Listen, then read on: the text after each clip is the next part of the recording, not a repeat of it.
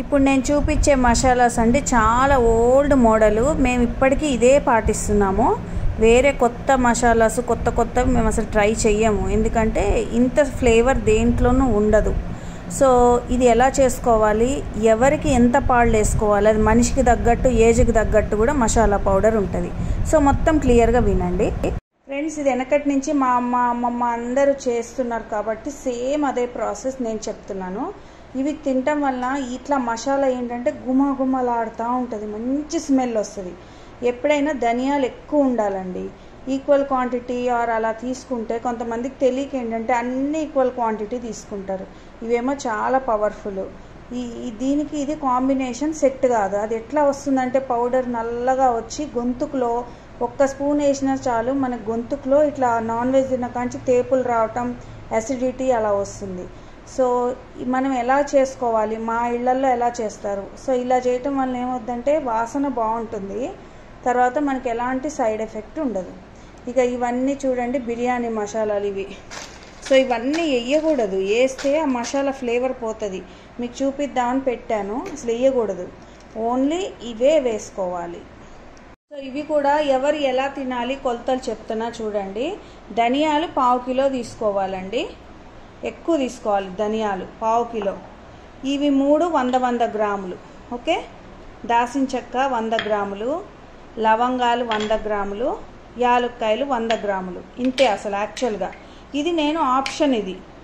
Only మనం ఒక రెండు పూలు రెండు మూడు వేద్దాము. ఇది ఆప్షనల్. ఇది కూడా బిర్యానీ పువ్వే కదా. సో ఇది మన ఇష్టం. మా మదర్ వాళ్ళు అయితే ఇయ్యరు నేను వేస్తాను అనమాట ఇది ఒక్కటి యాడ్ చేశాను నేను. ఇంక ఇందులో మామూలుగా బాగా అరాయిస్తుంది చిన్నాళ్ళు మంచిగా నాన్ వెజ్ తింటే బాగానే ఉంది హెల్తీగా అనుకున్న వాళ్ళకి ఇది. ఒకవేళ ఎసిడిటీ ప్రాబ్లం ఉంది లేతే ఏజ్ సిక్స్టీ ఇయర్స్ అబవ్ వాళ్ళు ఇందులో ఫిఫ్టీ ఫిఫ్టీ గ్రామ్స్ వేసుకోవాలి. ఇది పావు కిలోకి fifty grams fifty grams fifty grams ఇది అవాయిడ్ చేయండి. అది. పెద్దవాళ్ళు అసిడిటీ ప్రాబ్లం ఉన్న వాళ్ళు కారం ఎక్కువ తినని వాళ్ళు మసాలా ఎక్కువ తినని వాళ్ళు ఇది పావు కిలో ఇది యాభై యాభై యాభై గ్రాములు వేసుకోండి. సో ఏం కాదు ఓకే అనుకున్న వాళ్ళు ఇది పావు కిలో వంద వంద వంద గ్రాములు తీసుకోండి. ఇప్పుడు నేను ఇది పావు కిలో తీసుకున్నాను ఈ మూడు వంద వంద గ్రాములు తీసుకున్నాను. ఓకేనా? మసాలా అంటే ఇంతే అండి ఇంతకంటే వేయకూడదు. నేను అడిషనల్ ఇవి యాడ్ చేశాను ఇది ఆప్షనల్ అది ఇది మసాలా. ఇది నాన్ వెజ్కి వేసుకుంటారు చికెన్కి మటన్కి దీన్నే గరం మసాలా అంటారు. ఓకేనా? వెనకటి పద్ధతి నాకు బాగుందండి. ఇదే అన్ని రకాలుగా చేసి చూసా వేరే అన్ని యాడ్ చేసి కూడా చూసా కానీ ఫ్లేవర్ పోతుంది. అంటే మసాలా స్మెల్ పోతుంది. మనం చికెన్ చేసామంటే ఊరంతా వాసన రావాలి. అట్లా. అన్ని కలిపేసరికి ఏమవుతుందంటే కలగా పులగం అయిపోయి అది వాసన పోతుంది. మనకి హెల్త్ కూడా స్పాయిల్ అవుతుంది. సో ఇంతవరకు చాలు. సో నేను వాడే బాండీలు కూడా ఏంటని అడుగుతున్నారు. మొన్న చార్జ్ చేసిందేమో ఏఎంసీ గిన్నె. ఇది మామూలు స్టీల్ అండి. మందపాటి స్టీల్ గిన్నె ఇది అంతే ఓకే చాలా మంది క్వశ్చన్ అడిగారు. సో ఒక్కొక్కటి మనం ఇప్పుడు వేయించుకుందాం.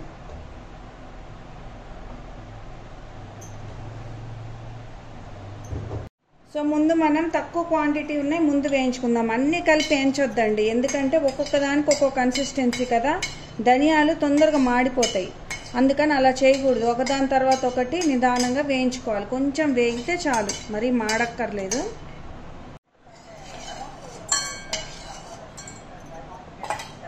ఈ మసాలాలన్నీ ఒక గిన్నెలోకి తీసుకోవాలి. ధనియాలు మాత్రం సపరేట్ తీసుకుందాం. గ్రైండ్ అయ్యేటప్పుడు ఇబ్బంది అవుతుంది కొంచెం అందుకని.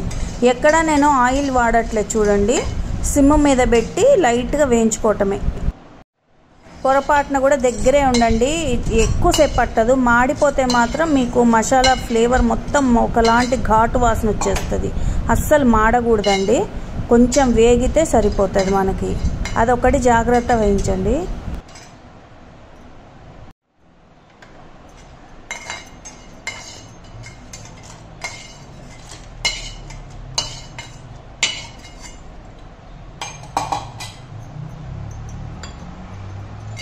ఇక మసాలాల్లో ఫైనల్ది ధనియాలు కాకుండా మనం ఫైనల్ది అంటే లవంగాలు.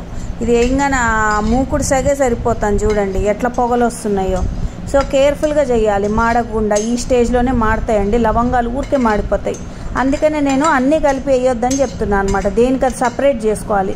మాడిందంటే మాత్రం ఆ మసాలా పాడైపోయినట్టే మంది నల్లగా అయిపోతుంది. కలరు అస్సలు నలుపు రాకూడదు మసాలాది.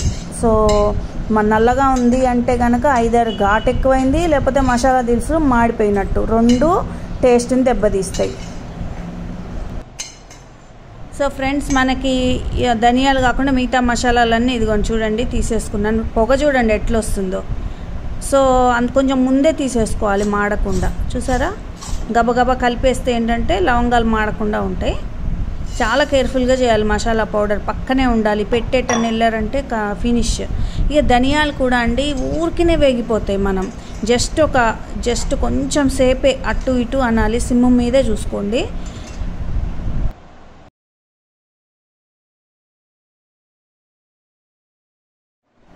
సో ఇప్పుడు మనం ఈ మసాలాస్ అయిపోయినాయి ఇవి కూడా రెడీ అయిపోయినాయి ఫ్రెండ్స్. ఇప్పుడు మనం విడివిడిగా గ్రైండ్ చేసుకుందాం. ముందేమో లవంగాలది అది గ్రైండ్ చేసుకుందాము తర్వాత ధనియాలు గ్రైండ్ చేసుకుందాం. ఓకేనా?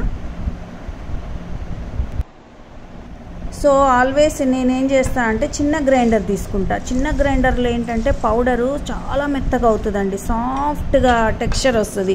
పెద్ద గ్రైండర్లో అట్లా రాదు. మరి నేను గమనించింది అది. అందుకని మసాలాస్ అన్నీ మీరు ఏం చేయాలంటే కొంచెం ఎక్కువ సార్లు అవుతూ అవుతుంది. ఏముంది? చిన్న గ్రైండర్లో చేసుకోండి. చూడండి ఎంత సాఫ్ట్గా. ఇప్పుడు చూడండి ఎంత నల్లగా వచ్చిందో. ఇలా కనుక మా మామూలుగా మీ మసాలా వస్తే అది రాంగ్ అన్నట్టు. ఓకే? అన్నీ కలిపిన మసాలా నేను మీన్ ఇంకా మనం ధనియాల పొడి కలపలేదు కదా. సో ఇలా నల్లగా వస్తే మాకు పెద్దవాళ్ళు తిడతారు. నీకు మసాలా చేయటం రాలేదు ఇలా చేసావు అని కోపడుతూనే ఉంటారు. ఆ కలర్ చూడంగానే తెలిసిపోతుంది వాళ్ళకి. సో ఎప్పుడైనా మసాలా కలర్ బ్లాక్గా ఉంటే ముఖ్యంగా మీ మసాలా కనుక బ్లాక్గా వచ్చినా బయట నుంచి కొనుక్కొచ్చిన పెద్దవాళ్ళు వస్తే దాసేసుకోండి. సో ధనియాల్ని తీసే టెక్నిక్ చూడండి. ఇక్కడ వీడియోలో సరిగ్గా పడలేదు. మనం పెద్ద బౌల్లో నుంచి తీసుకునేటప్పుడు ఒక టెక్నిక్గా తీయాలి. వేసుకోవాలి. స్పూన్లు గిన్నెలు ఏం వాడక్కర్లో ఒక్క ధనియం కూడా పడకుండా చేయొచ్చు. నేను మీకు చూపిస్తాను అది కూడా. సో చూడండి ఎట్లా పౌడర్ అయిందో. రెండు కలిపేసరికి ఒకలాంటి మీడియం కలర్ వస్తుంది చక్కగా. సో అది పర్ఫెక్ట్ మసాలా అనమాట మనకి. మంచి స్మెల్ కూడా వస్తుందండి ఆ రెండు అన్నీ కలిపేసిన తర్వాత. సో చూడండి ఎక్కువ క్వాంటిటీలో ఉన్నప్పుడు మేము ఇలా చేస్తాము. అన్ని స్పూన్తో చేయాలంటే కష్టం కదా. సో ఇలా రెండు వేళ్ళతోటి ఇలా వేయాలి ఇంకో టెక్నిక్ కూడా చూపిస్తాను నేను. ఇవన్నీ పాత పద్ధతులండి. నవ్వొస్తుందేమో జనాలకు కానీ ఇవన్నీ మా వెనకటాళ్ళ పద్ధతులు. వాళ్ళు మా వాళ్ళందరూ చేస్తుంటే చూసి మేము చేయటం అవన్నీ. కదా ఈజీగా అనిపిస్తుంది. సో చూడండి. ఇప్పుడు దాన్ని అయితే ఫింగర్స్తో చేసాం మరి పౌడర్ ఎలా చేస్తారో చూడండి. అది కూడా చూపిస్తా. అందుకనే పిల్లలతోటి కిడ్స్ తోటి అమ్మమ్మలు నాయనమ్మలతో స్పెండ్ చేయమని చెప్తే ఇప్పుడు ఎవరు స్పెండ్ చేయక ఏమవుతుంది అసలు ఏం తెలియదు వాళ్ళకి. అంత పాష్ పాష్ పద్ధతులు వెనకటి మంచి అన్నీ పోతున్నాయి. సో ఇలా బాగా కలుపుకోవాలి ఓకే? ఒకవేళ మీకు కావాలంటే మిక్సీలో కూడా మళ్ళీ వేసేసి జార్లో కలుపుకోవచ్చు. నేను అలానే కలిపేశాను. ఇప్పుడు పౌడర్ని ఎలా వేసుకుంటామో చూడండి. స్పూన్తో వేయటం యూట్యూబ్ పద్ధతి. కాకపోతే మన మామూలుగా అది చాలా లేట్ పద్ధతి అండి అందుకని నాకు ఫటాఫట్ పని అయిపోవాలి. So our authentic age old masala ready అండి. సింపుల్ పద్ధతిలో రెడీ చేసేసుకున్నాం. ఓకేనా? స్టోర్ చేయటం మనకి వీలైతే గాజు దాంట్లో స్టోర్ చేసుకోవాలి. స్పైసెస్ ఎప్పుడైనా. లేదా పింగాణి దాంట్లో టైట్గా మూత ఉన్న దాంట్లో పెట్టుకుంటే వాసన రాకుండా ఉంటుంది. సో ఎంత వేసుకోవాలి ఎంత వేసుకుంటే మనకు బాగుంటుంది అది కూడా చెప్తా ఫ్రెండ్స్. అది తెల ఒక పాపం ఎక్కువ ఎక్కువ వేసేసుకొని వాసన వస్తుందని తేడా చేసి ఇప్పుడు ఈ టెక్నిక్ చూడండి. పౌడర్ ఉంటే కనుక ఇలా రెండు చేతులు పెట్టాలి. పెట్టి ఇలా ఎప్పుడు చూడని వాళ్ళకైతే నవ్వు వస్తుంది. వెనకట వాళ్ళకైతే ఇవన్నీ చూసే ఉంటారు. ఇలా తీసుకుంటాం. అంతేగాని స్పూన్తో టింకు టిక్కు టిక్కు అంటే ఎప్పటికవుతాయండి కిచెన్లో బోల్డ్ పనులు ఉంటాయి. ఇది చూసారా? Simple simple techniques. ఎక్కడ కొంచెం కూడా కింద పడదు చూడండి. ఎక్కడనుందా కింద? చూసారా? సో ఇలాంటి సింపుల్ సింపుల్ టెక్నిక్స్ కూడా నేను అలానే పెడతా అండి. నా స్టైల్లోనే నేను చేస్తాను. సో ఇలా టైట్గా పెట్టేసుకున్నారనుకోండి ఎక్కువ రోజులైతే కనుక ఫ్రిడ్జ్లో పెట్టేసుకోవచ్చు. సో ఒక వన్ కేజీ చికెన్కి మనం ఆ నిండా తీసుకోవద్దు. కొంచెం కొట్టేసి ఓన్లీ టూ స్పూన్స్ వేస్తే సరిపోతుంది. అంతకంటే ఎక్కువ వేయొద్దండి. ఇది కేజీ చికెన్కి ఇంత సరిపోద్ది. అసలు ఇంకా కొంచెం పెద్దవాళ్ళైతే కొంచెం తగ్గించి వేసుకోండి. ఓకేనా? మామూలుగా కొంచెం అరుగుదల బాగానే ఉంది అనుకున్న వాళ్ళకి ఓన్లీ టూ స్పూన్స్ అంతకంటే ఎక్కువ వేసుకోవద్దు. Thank you